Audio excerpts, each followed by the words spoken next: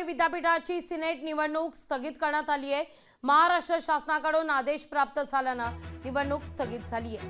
बावीस सप्टेंबरला होणार होती ही निवडणूक.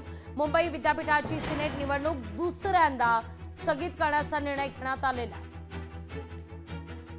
अधिक माहिती घेतो आपले प्रतिनिधी भूषण शिंदे यांच्याकडून. भूषण नेमकं काय कारण आहे? नक्कीच लागवी. सलग दुसऱ्यांदा मुंबई विद्यापीठाची सिनेट निवडणूक ही स्थगित केलेली आहे. याचं कारण नेमकं तो आता अस्पष्ट आहे.